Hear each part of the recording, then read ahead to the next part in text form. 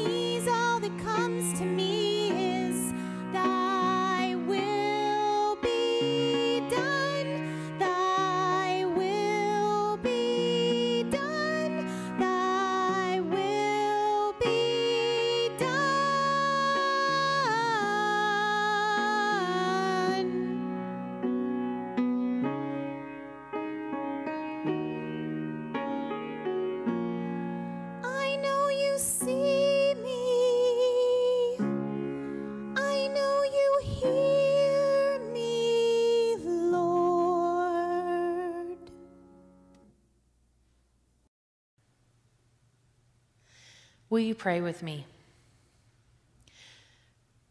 God, we thank you for the gift of your presence that never leaves us. Even in those moments when we cannot feel your presence, that it is hard for us to connect with you, we know that you have never left us. I ask that you be with each and every one of us and all of the concerns that weigh down our hearts and our minds. May we believe that you can hold these burdens for us and that we may find joy in you no matter what's going on in our lives. Thank you for the gift of your Son, Jesus, who came and saved us from ourselves and from death. In your name we pray. Amen.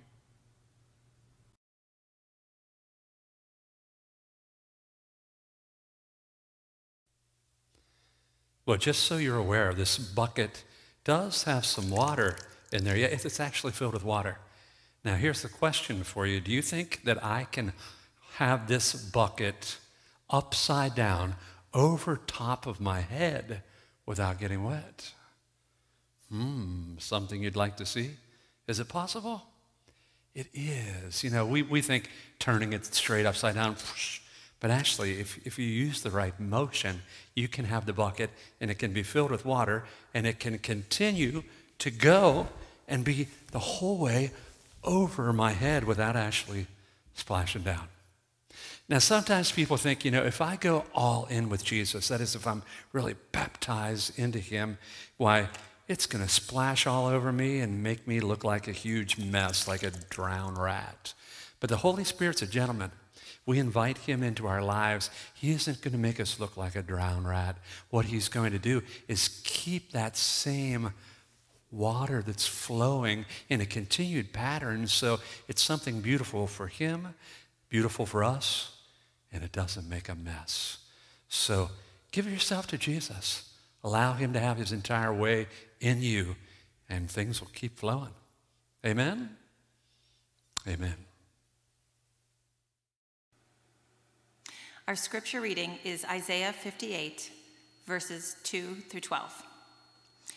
Yet day after day they seek me and delight to know my ways, as if they were a nation that practiced righteousness and did not forsake the ordinance of their God. They ask of me righteous judgments they delight to draw near to God. Why do we fast, but you do not see? Why humble ourselves, but you do not notice? Look, you serve your own interest on your fast day and oppress all your workers. Look, you fast only to quarrel and to fight and to strike with wicked fist. Such fasting as you do today will not make your voice heard on high. Is such the fast I choose, a day to humble oneself? Is it to bow down the head like a bulrush and to lie in sackcloth and ashes? Will you call this a fast, a day acceptable to the Lord? Is not the fast that I choose to loose the bonds of injustice, to undo the thong of the yoke, and to let the oppressed go free, and to break every yoke?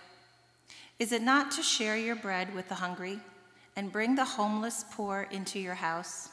When you see the naked, to cover them, and not to hide yourself from your own kin? Then your light shall break forth like the dawn, and your healing shall spring up quickly. Your vindicator shall go before you. The glory of the Lord shall be your rear guard. Then you shall call, and the Lord will answer. You shall cry for help, and he will say, Here I am. If you remove the yoke from among you, the pointing of the finger, the speaking of evil, if you offer your food to the hungry and satisfy the needs of the afflicted, then your light shall rise in the darkness, and your gloom be like the noonday. The Lord will guide you continually and satisfy your needs in parched places, and make your bones strong. And you shall be like a watered garden, like a spring of water, whose waters never fail. Your ancient ruins shall be rebuilt you shall raise up the foundations of many generations. You shall be called the repairer of the breach, the restorer of streets to live in. In Psalm 37 4, David claims, Delight yourself in the Lord, and he will give you the desires of your heart. So, if we are delighting in the Lord, what that really means is we are enjoying time in his presence we are having these intimate, beautiful moments uh, with our Lord alone. That we certainly we receive His power, His strength to endure, to, to face things, but we cannot neglect simply being in His presence, worshiping Him on a regular basis. See, we can either delight ourselves in the Lord or we can delight in ourselves.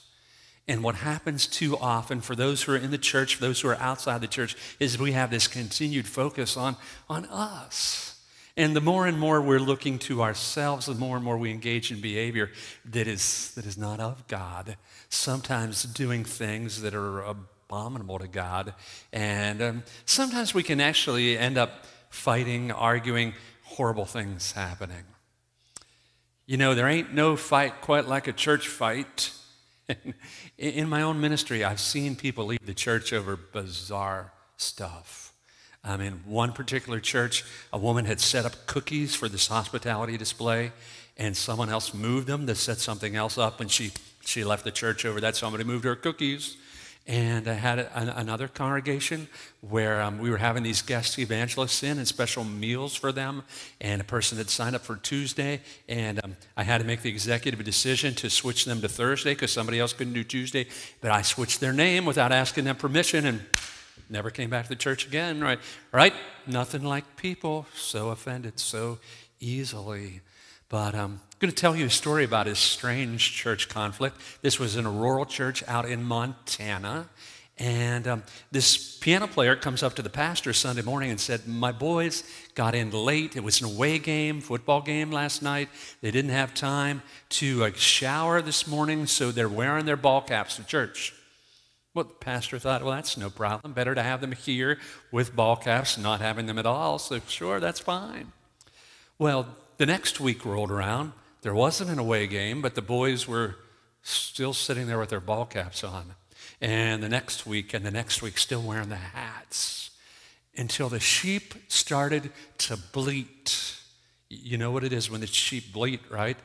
That's when they say, that's bad, all right? And um, so this continues. Football season is over. And Sunday after Sunday, these boys are still wearing their caps into worship.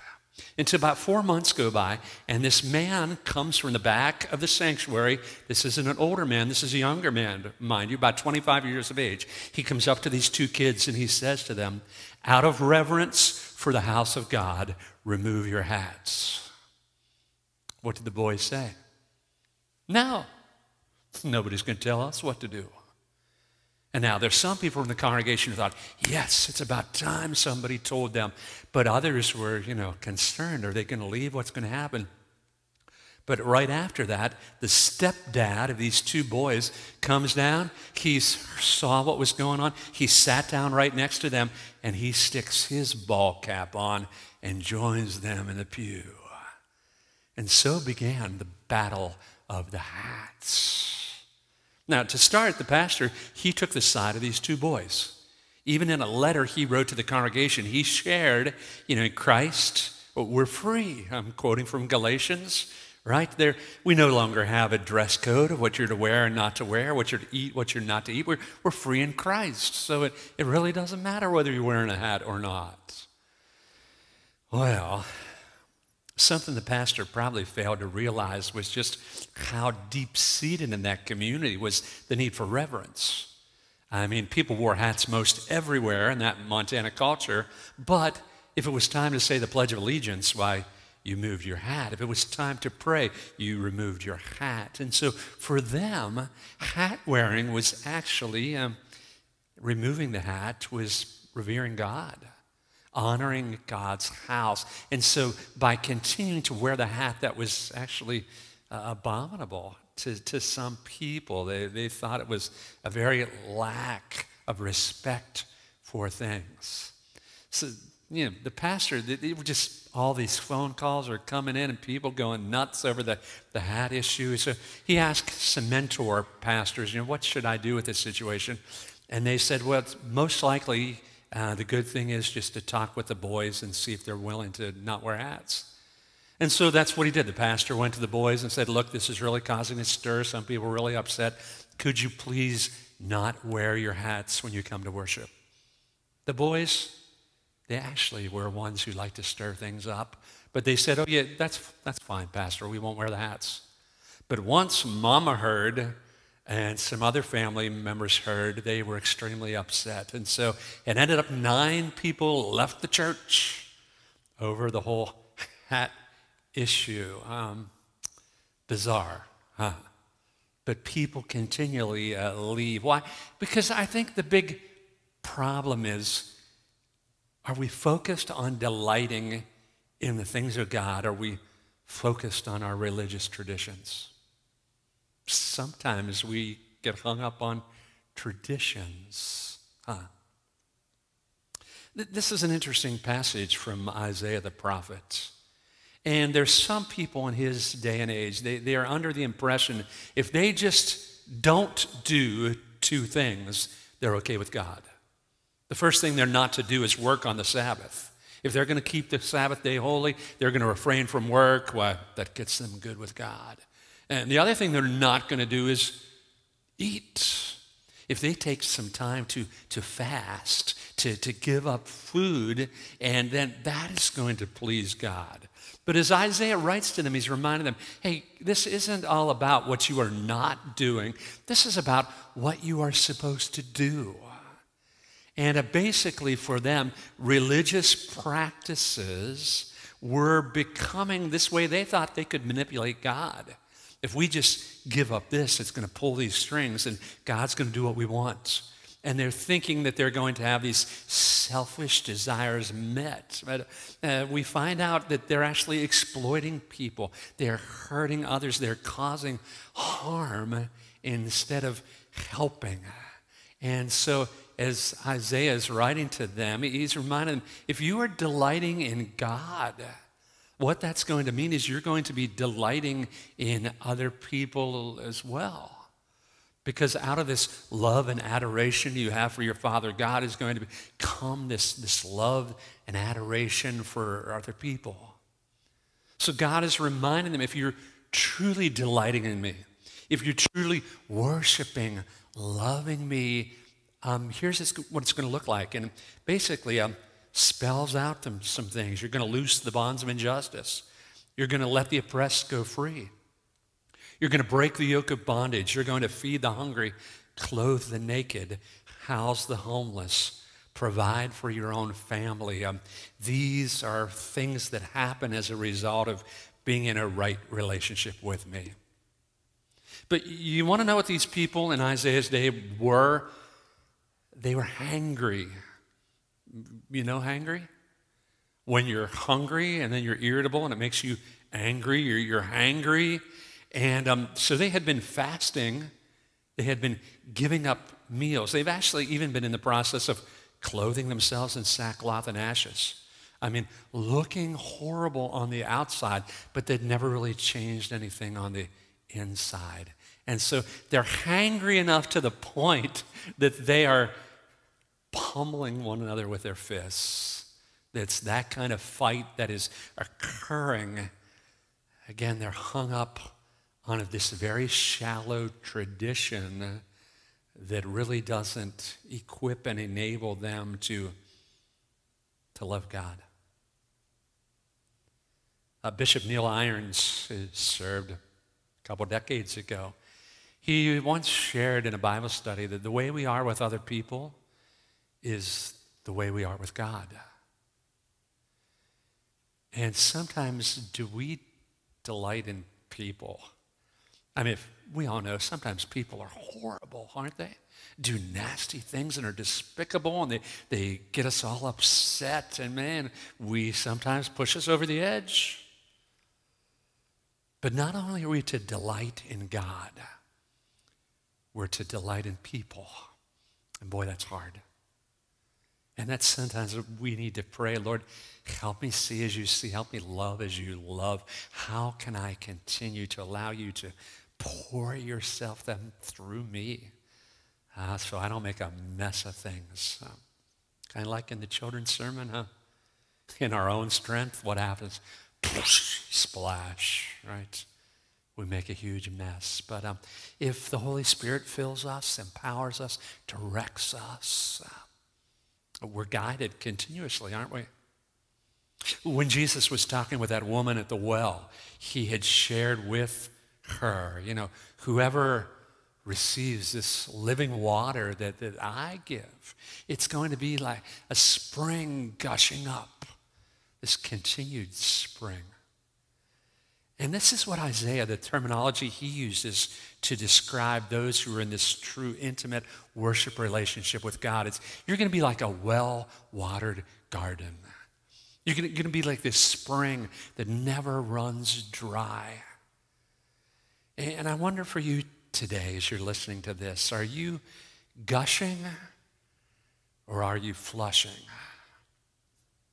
What do you mean by that, preacher? Huh?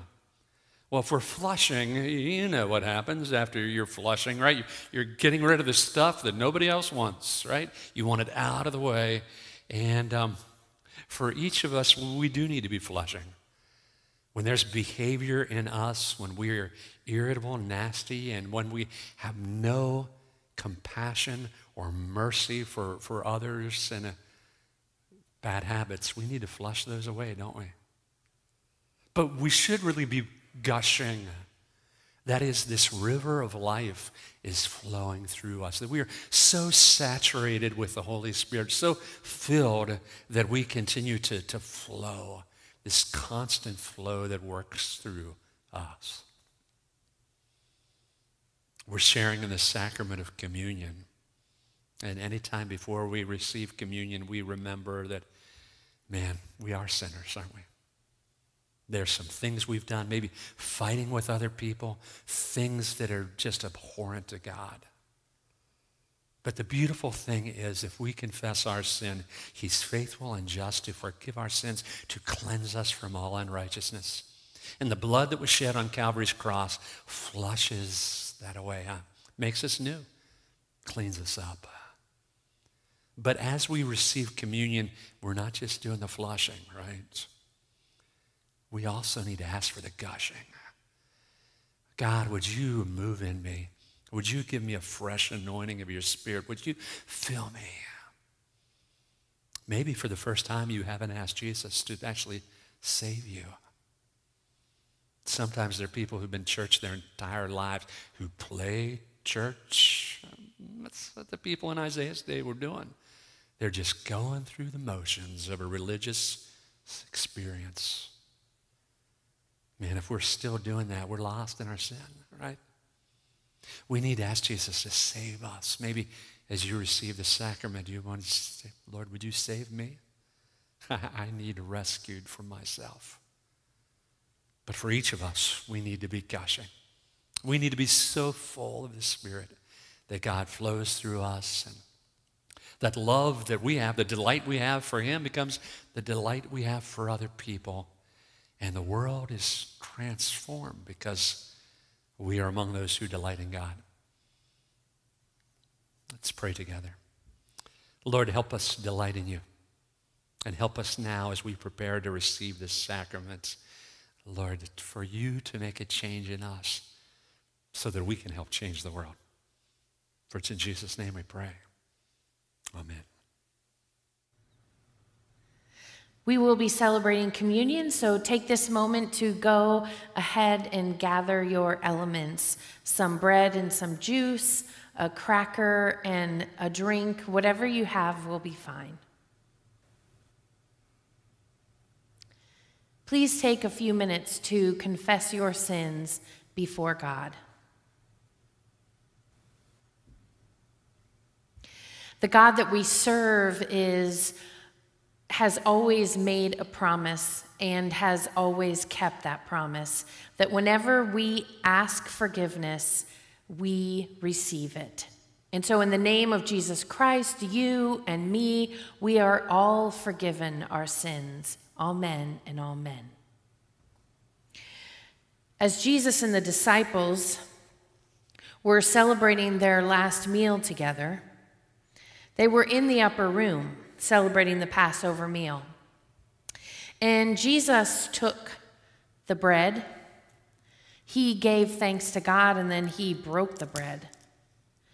And he offered it to his disciples around the table, and in that moment also offered it to you and to me, to everyone. And he said, This is my body broken for you. Every time you do this, remember me. And when the supper was over and he poured the third glass of wine, the cup of redemption, he then gave thanks to God and then offered it to his disciples in that room and in that moment offered it to you and to me and all those who came before us and who will come after us. He said, This is my blood of a new covenant poured out for you for the forgiveness of sins. Every time you drink this, remember. And so we know that whenever we use symbols of Christ's body and Christ's blood, that we are remembering the sacrifice of Jesus, that God is present with us and makes these symbols a reminder of who we are to be when we go out in the world, that we are to be the love of Jesus for all those that we meet. Amen and amen.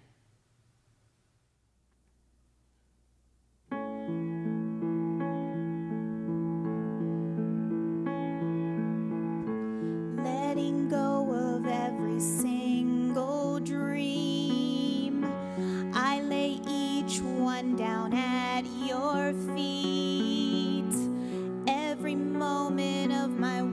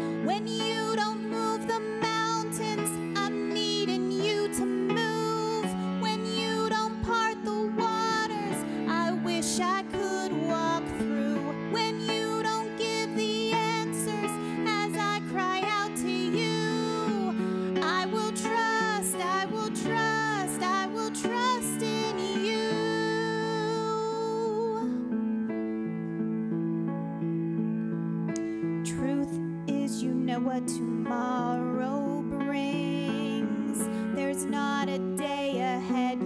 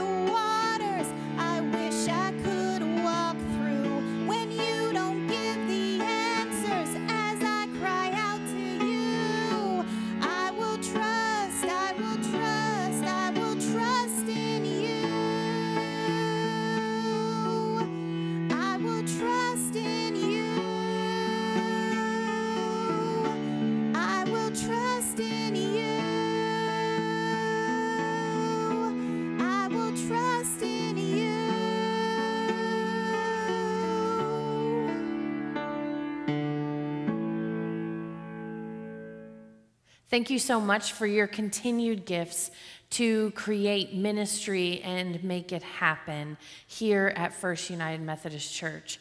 There are many ideas that we are discussing for the fall to reach out to those in our community to share the love of Jesus. So thank you for your tithes and offerings. You may give online at our website.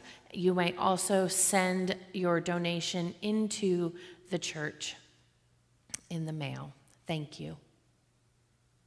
And now may the God of grace, his Son Jesus, and the Holy Spirit fill you with love and peace today and always. Amen.